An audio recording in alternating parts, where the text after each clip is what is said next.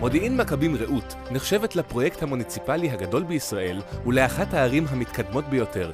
לא הרבה יודעים זאת, אך שטחה של מודיעין גדול מזה של תל אביב. בעיר ישנם 85 אלף תושבים, והיא מדורגת ברמה 8 מתוך 10 בדירוג חברתי-כלכלי. קאט. נו, כולם כבר יודעים את זה. אני רוצה... אני רוצה לספר סיפור אחר. את הסיפור על מודיעין האמיתית. אני רוצה להראות את האנשים, את המקומות, את חיי הלילה. זה מה שחשוב בעיר שלנו. זה יהיה פשוט... מושלם. אז אולי כדאי שבעצם... אני יודע מה אנחנו צריכים לעשות. מצוין. צוות, אחריי. ילדים אלה.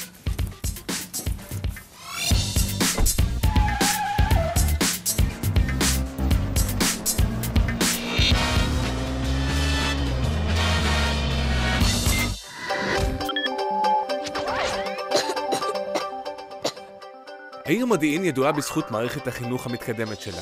בעיר יש עשרה בתי ספר תיכוניים, כ-26 בתי ספר יסודיים ועשרות גני ילדים, בהם לומדים מעל ל-26 אלף תלמידים, באחת ממערכות החינוך המתקדמות בישראל. קאט. מעולה. יש לנו את זה. מה הלוקיישן הבא? אוכל. אזור תעשייה. פארק הטכנולוגי של העיר ואזור המלאכה, מרכז עינב, נמצאים מה קורה עם הקול שלי? נמצאים בתנופת פיתוח חסרת תקדים, עם עשרות חברות ויזמים המגיעות לעיר, ושיווק מגרשים בהיקף של למעלה מחצי מיליארד שקלים. חפירות. הפעילות באזור מתבססת בעיקר על תעשייה משרדית, טכנולוגיה גבוהה ותעשייה יצרנית. האזור מאופיין ב... קאט. אוקיי, הבנו. זה הולך להיות הדבר הבא הגדול באזור. לגמרי. נקסט. אוכל.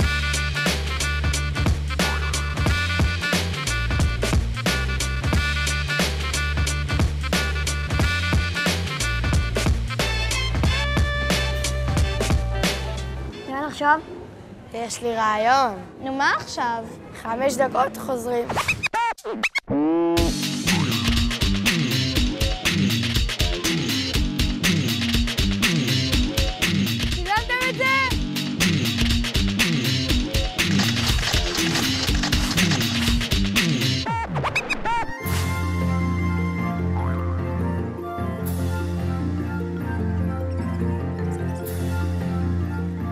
אוקיי, ראש העיר מחכה לסרט שלנו.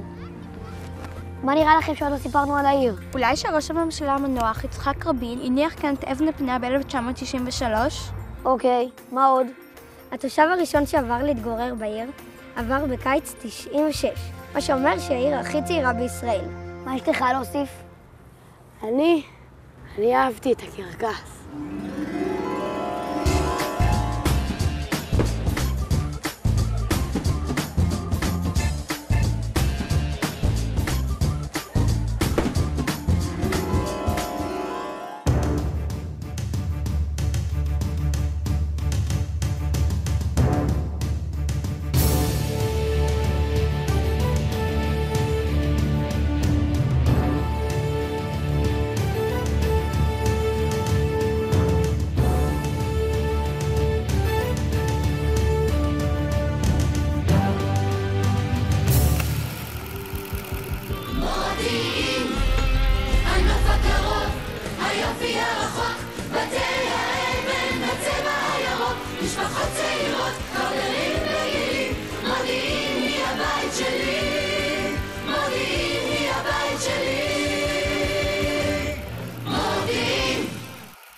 חברים, יש לנו יופי של סרט, באמת כל הכבוד לכם. תודה רבה, אתם ילדים נהדרים, אתם ילדים מקסימים, באמת יופי של סרט. תודה רבה. תגידי, קרן זה לא נשמע לך קצת מוזר? אני לא יודעת, אתה בחרת אותו, לא?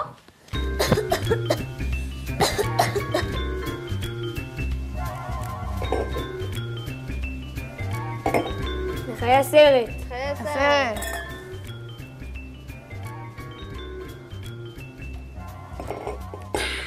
אין על השוקו של מודיעין. מכבים. רעות.